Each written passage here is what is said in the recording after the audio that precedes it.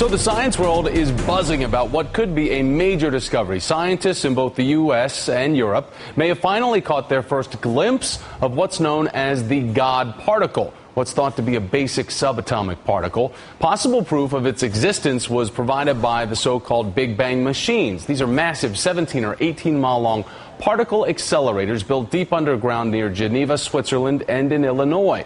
So, exactly what is the God particle, and what would confirmation of its, of its existence after decades of searching actually mean? Joining me now is Derrick Pitts, chief astronomer at the Franklin Institute in Philadelphia. Derrick, it's good to see you. So, a lot of people, this is going to grab their attention. Explain to us what is the God particle and why is it called that?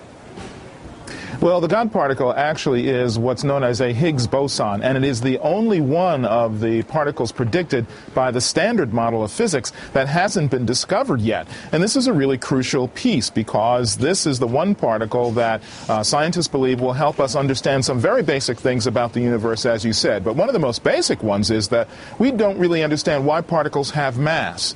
And so it's hoped that by discovering this particle, we might be able to figure out that as well as figure out some things about the early history of the universe, et cetera, et cetera. Uh, Derrick, tell us more about these so-called Big Bang machines. Uh, these are the uh, machines 17, 18 miles long in Geneva, Switzerland, and in Illinois. So the Higgs boson, this particle known as the God particle, is a very, very heavy particle. And what I mean by heavy, in terms of what we know of, is pretty light, but in terms of atomic physics, it really is. It's 120 times heavier than a proton is. So what these machines do is they accelerate protons up to near the speed of light, then they smash these things together, and they create other exotic particles. Now, in these exotic particles, we expect to be able to find these elusive ones like the Higgs boson. Part of the reason why it's called the God particle is because some physicists say that if we can discover this particle and understand it, we might be able to understand some about how God thought about putting together the universe, so to speak. But it really comes from Leon Lederman, who used it to describe how difficult it was to identify this uh, particle, and he connected the word God with another word that I won't mention here. Uh, when we talk about the, uh, I guess, amazement of scientists feeling that they're actually close to discovering this, talk about a time frame, though, that when they can really actually say definitively they've figured this out. So here's the tricky part. The tricky part is that what scientists have seen is a bump in the data from two different experiments looking for the particle.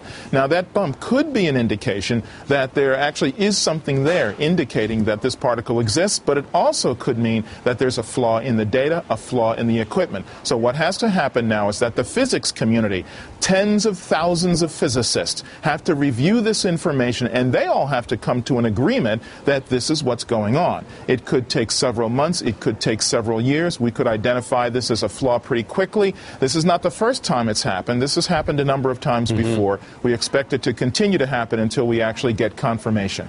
All right, Derrick, great to see you today. Thanks for your time.